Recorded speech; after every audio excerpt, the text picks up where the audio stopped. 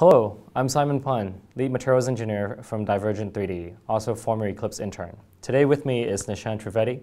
Nishant has been an active volunteer on the Early Career Engineering Programming Committee market segment team, as well as serving as a judge in a number of ASME sponsored competitions. What is the unique challenge you have encountered in product design and manufacturing, and how did you overcome that challenge?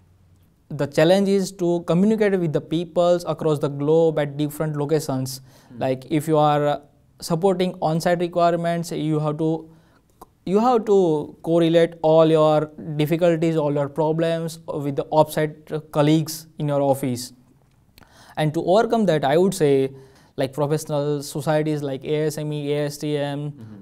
like so meet those people, understand uh, what, what is the current market demands, requirements, and how you can contribute to the society and how you, you can contribute to your path and find your find your interested field to pursue your whole career.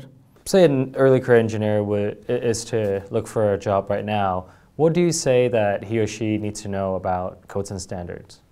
From the available standards, they can use that and work from work from that as per the requirements because like if you know the like there is a uh, if you are in a design product design and manufacturing company then you should have knowledge on the GD&T or tolerancing and dimensioning how you're how you're dealing with that because at the end of the day uh, design records are your outputs and design records contains all the information regarding the product because you are not going to say like oh, you need to maintain these dimensions and tolerances on the final machine products. Well, thank you very much for your time today. Thank you.